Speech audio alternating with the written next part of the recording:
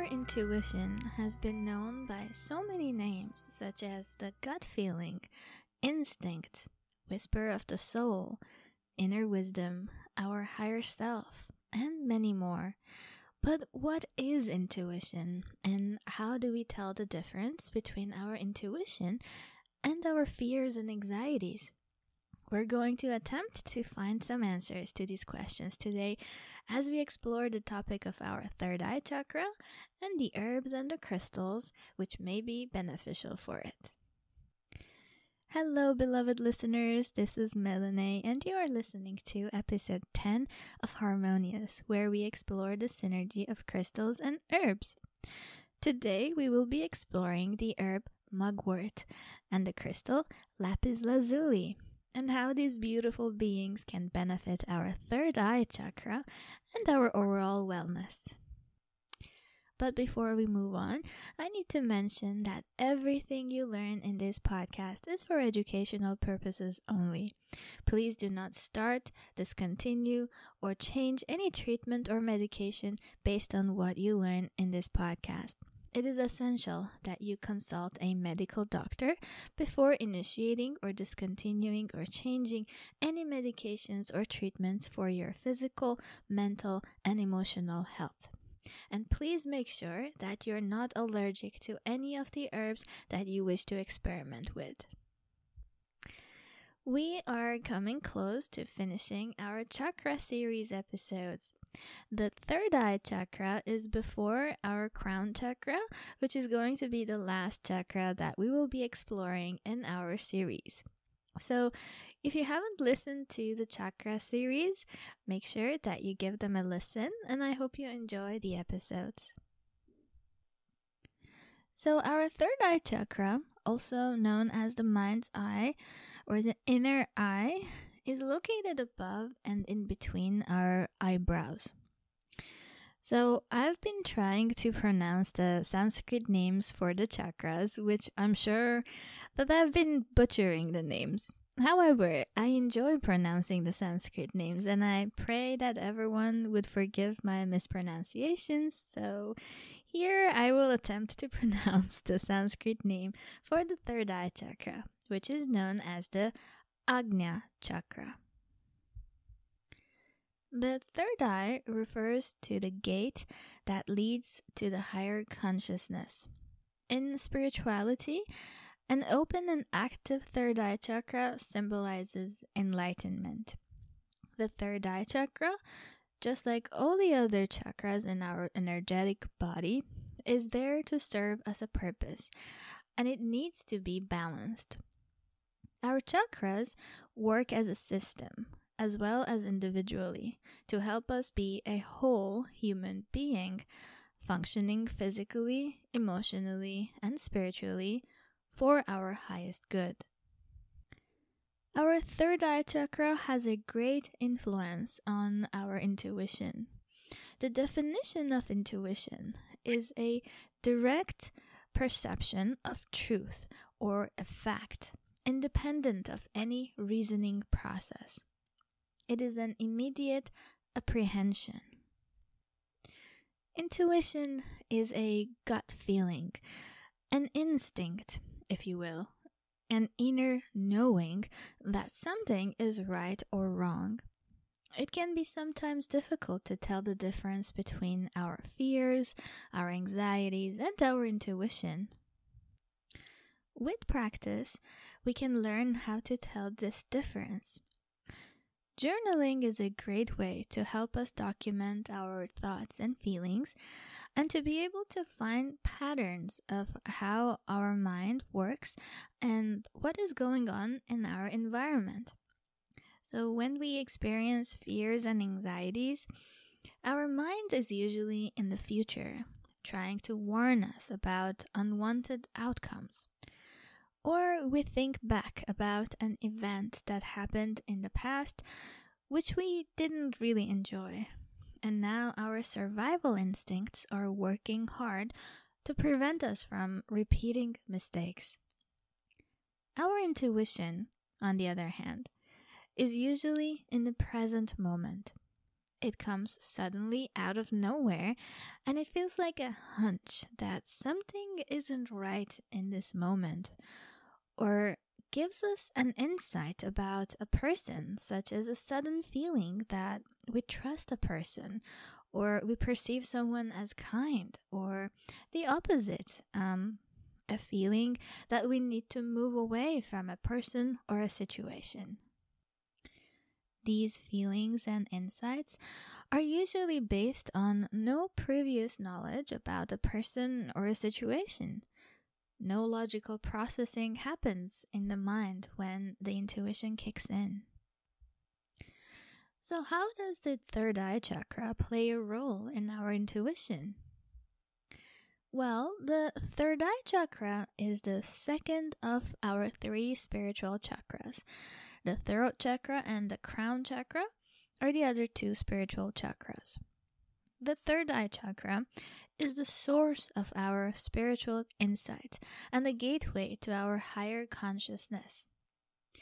The third eye chakra's energetic color is indigo, and it is deeply connected to our pineal gland, which produces the hormone melatonin and modulates our sleep and awake patterns. A balanced third eye chakra provides us with awareness and clarity of thought. It provides confidence and trust in our decisions. An overactive third eye chakra may lead to nightmares and disturbing visions or delusions. It may be difficult to ground ourselves in the physical world. An underactive third eye chakra may lead to having trouble trusting our intuition, being unable to make decisions, confusion, trouble with memory, and a tendency to repeat the same mistakes over and over again. An underactive or blocked third eye chakra may lead to lack of self knowledge, which can make it difficult to see our path in life. It can make it difficult to have empathy for others when we don't know our own self. There are many options to help us keep our third eye chakra balanced and healthy. Yoga exercises such as gentle neck rolls and the good old child's pose held for a minute while maintaining your normal breathing is said to help with balancing the third eye chakra. Essential oils such as rosemary, lavender, frankincense, and sandalwood help with balancing the third eye chakra while grounding our energies to the physical world, preventing an overactive third eye chakra. Crystals such as lapis lazuli, moonstone, labradorite, fluorite, amethyst, clear quartz, and sodalite are great for balancing the third eye chakra. Now, let's explore an herb that is so dear to my heart the mugwort. Known by its scientific name Artemisia vulgaris, mugwort has been used for its powers of strength, prophetic dreams, healing, protection, and astral projection. Mugwort is also known by its folk names Artemis herb, sailor's tobacco, Artemisia, and felon herb. Mugwort's energy is feminine. It is associated with the planet Venus, and its element is earth. And as its name suggests, it is associated with the Greek goddess Artemis. An infusion of mugwort was used to wash crystal balls and magic mirrors. A pillow stuffed with mugwort was used to induce prophetic dreams, and in China, mugwort was hung over doors to prevent evil spirits from entering the house. In botanical medicine, Artemisia vulgaris is famous for its bitter taste, and like other bitter tasting herbs, it is good support for the digestive system. It is important to notice that mugwort is contraindicated with pregnancy and lactation, therefore, should be avoided by pregnant and lactating ladies. Mugwort is also categorized as a hematostatic herb, which means that it is used for regulating blood. Therefore, the organs that are directly affected by mugwort are the spleen, liver, and the kidneys.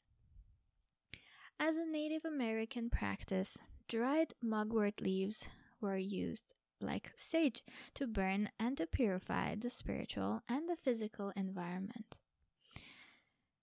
Now, let's talk about the mesmerizing lapis lazuli.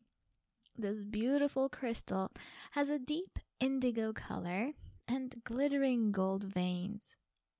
It helps open and activate the third eye chakra and also helps balance the throat chakra. Lapis lazuli is a stone of spiritual enlightenment, helping us connect with the divine and achieving higher levels of consciousness. This crystal is also known to be an effective tool in healing physical and mental ailments, as well as promoting harmony and balance in one's life. Its calming energy can help reduce stress and anxiety while also providing clarity of thought. It is said to help with inner truth, amplifying thoughts, and alleviating migraines, vertigo, and insomnia. It has been used for centuries in various cultures as a healing stone. The power of lapis lazuli lies in its ability to open one's mind and heart to receive the messages from the universe. It helps one to connect with their inner truth and find clarity in life.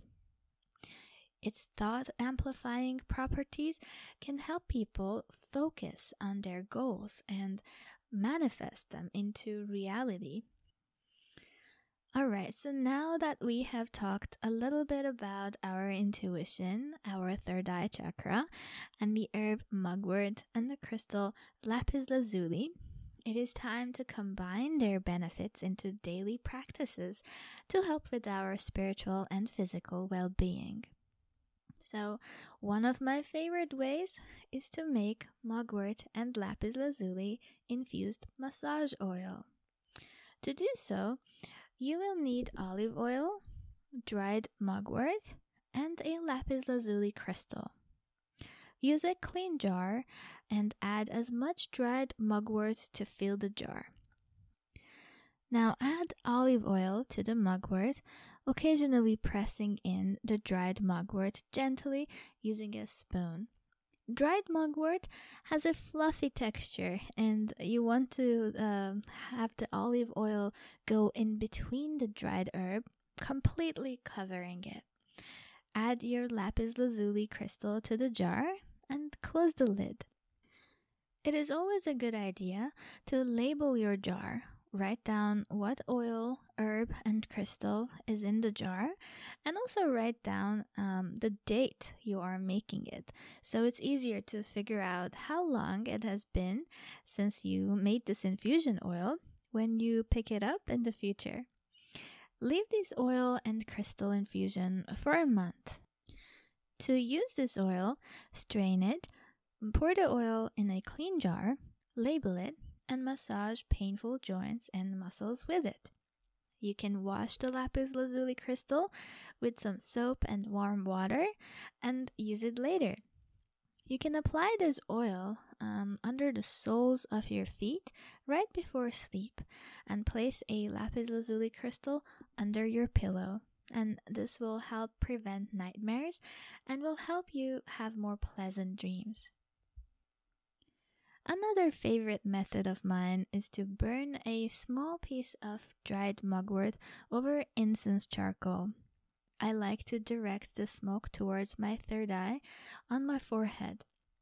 You may then hold a lapis lazuli crystal over your forehead, or you can lie down and place the lapis lazuli on your forehead. And if you choose to do so, repeat the following affirmations for balancing your third eye chakra. I trust my intuition, my inner wisdom.